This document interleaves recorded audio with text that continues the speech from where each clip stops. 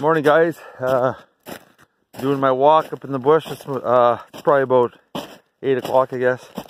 And uh, just want to tell you a story about uh, my Uncle Adelard there. He's uh, he was a guy that uh, learned me how to cut wood and how to be a man pretty well, how to work.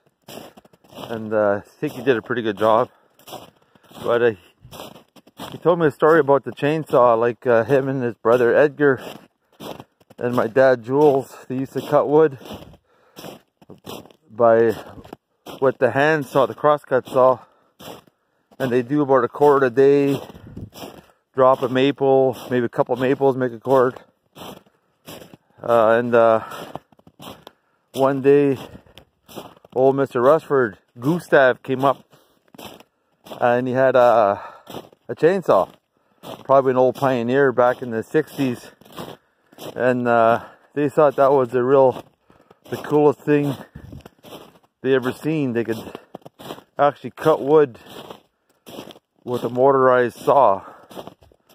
And back then they were really heavy and uh, hard to start, but that was, you can now do three, four cords of wood a day with uh, half the work anyways, as uh, Uncle Adelard always told me appreciate the things you got because uh, and another story was uh, he used to get his uh, here's some wolf tracks there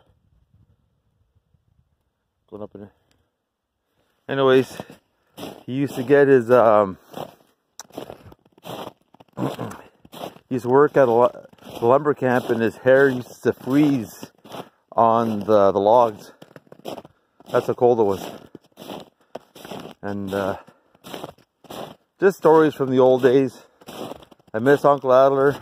And uh, anyways, talk to you all later. Beautiful day out here. Peace out.